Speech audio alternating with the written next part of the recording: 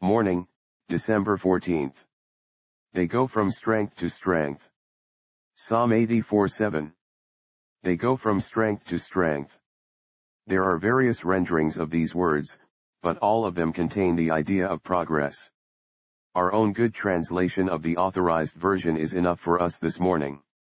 They go from strength to strength. That is, they grow stronger and stronger. Usually, if we are walking, we go from strength to weakness, we start fresh and in good order for our journey, but by and by the road is rough, and the sun is hot, we sit down by the wayside, and then again painfully pursue our weary way. But the Christian pilgrim having obtained fresh supplies of grace, is as vigorous after years of toilsome travel and struggle as when he first set out.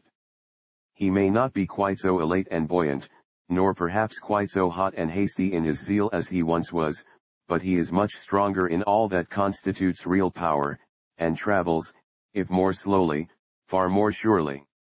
Some gray-haired veterans have been as firm in their grasp of truth, and as zealous in diffusing it, as they were in their younger days, but, alas, it must be confessed it is often otherwise, for the love of many waxes cold and iniquity abounds, but this is their own sin and not the fault of the promise which still holds good the youths shall faint and be weary, and the young men shall utterly fall, but they that wait upon the Lord shall renew their strength, they shall mount up with wings as eagles, they shall run and not be weary, and they shall walk and not faint.